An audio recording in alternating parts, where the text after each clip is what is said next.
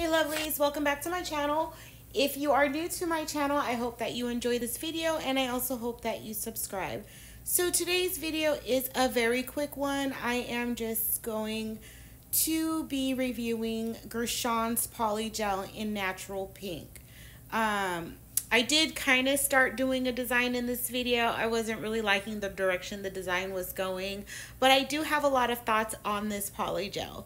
So, um, I was sent this polygel just to see what I thought of it. Um, I'm not being told what to say. And I say that because um, this is a positive review.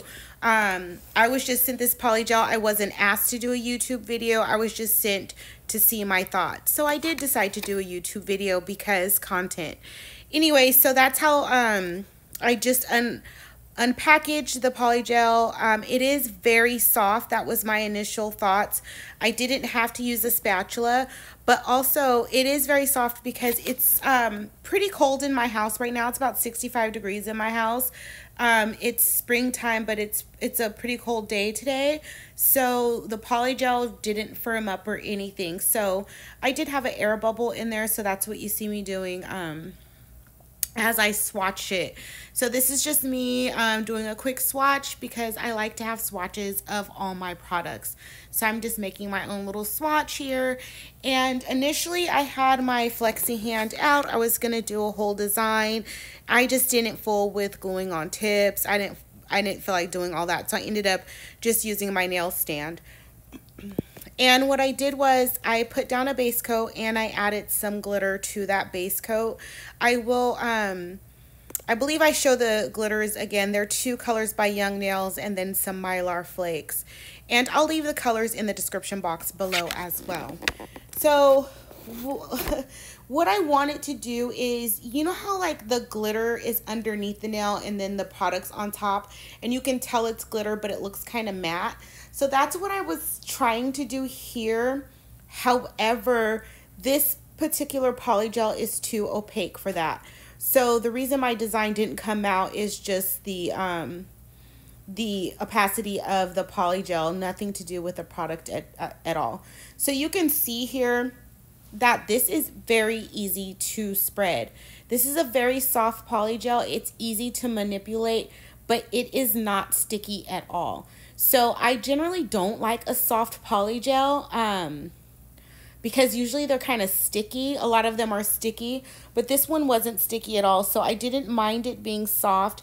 And the brush that I'm using, the polygel brush that I'm using is my Makartt um, polygel brush. It's my favorite one. So what I decided to do here was put a little bit um, more glitter because it was just um, because how opaque the polygel was.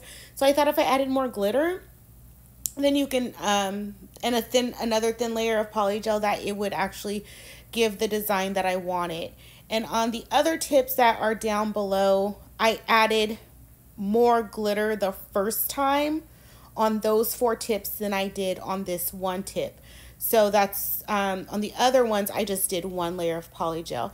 Either way I did it, this polygel is too opaque for the design that I wanted. But um, the tube is a 60 milliliter tube, so that's two ounces. And I would cure each layer for about two minutes. So I did notice that just curing the this polygel for 60 seconds, once I started to file some of the um, the tips that it wasn't fully cured. So I had to put them back in the lamp and I put them back in for another 60 seconds. So I would probably cure this um, from 90 to 60 seconds I'm sorry, for 90 seconds to 120 seconds, a minute and a half to two minutes just to ensure a full cure.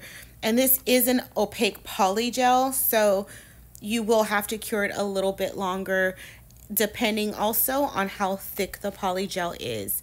And another thing is I did have that glitter um, in between those layers so it might not have penetrated all the way through. However, just cure this polygel a little bit longer than your normal polygels. So I did like working with it. Like I said, it is soft, but it's not sticky. I did not have to use a lot of alcohol. I used the 91% alcohol to spread everything out. And I didn't have to wet my brush very often. So all in all, I do like the way that this polygel applies. I would probably not do, if I were to do a set using this on myself, I definitely wouldn't do um, this design that I tried to do in this video. I would probably try and do my glitter fade a different way, but I'm going to have to watch some more videos and see how to get that look that I'm talking about.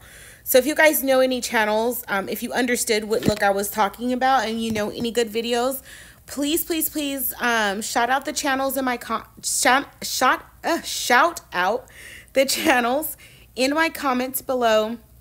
Or if you have a video that you just watched or whatever and want to leave me a link, that is fine too. I would love to get this design because it's so pretty. So essentially it's just where the glitter underneath the product looks matte. So I don't know how to get that look. And I don't know the right search terms. So I will figure it out. But I cannot wait to get that design done because I will probably end up with that on my nails. Anyway, so this is how everything came out. I didn't really get the look I was going for. This first one here, that's the one I did the two layers of glitter. Um, this polygel also was pretty easy to file. All the filing that I'm doing is with um, the 100 grit file. This is a dual-ended 100, 180 grit files. These are my favorite um, by Makartt. But um, I just used the 100 side and I was able to smooth out the top. It didn't need very much because I was able to get that smooth. And then just to shape up the nail um, a little bit. And after that, I ended up buffing. I ended up buffing it with um, a file you guys have seen me use before. I think it was a 100, it's a 180, 100 buffer too. So all in all, I really do like this polygel. Um, I will probably end up doing a full set on myself, but I do have some products in front of it that I want to use on myself. So it might be a while before I get around to doing this on myself. But for again, for the most part, I really do like this poly gel. I did look this up on Amazon and these two ounce tubes, um, they have them individual so you don't have to buy the whole kit. They have them in a few colors on Amazon and the prices about 15 to $17 each, which is good because you will get a lot of sets out of this. I did go in and top coat with my Modelones top coat. The base coat I used was Modelones as well. And the glitters that I'm using are by Young Nails. One was a fine glitter and that was in Diamond Dust. And the other one was um, a small loose glitter. It's not a medium, but it's not a fine either. And that was in Crushed Pearl. So that was from Young Nails. That was Diamond Dust and Crushed Pearl. So um, this really isn't a design video, just more so of how the polygel applies and spreads, filing it, which all are very positive things. So in my opinion, the only thing that I would suggest is just to cure it a little bit longer if you do get this polygel that is opaque. This is the first time um, I've ever used Gershion, so I don't know if all of their polygels cure longer or just their ones that are opaque, which really didn't um, bother me any. So um, thank you guys for watching. Please make sure you like, comment, share, and subscribe. And I'll see you guys soon for another video. Thank you.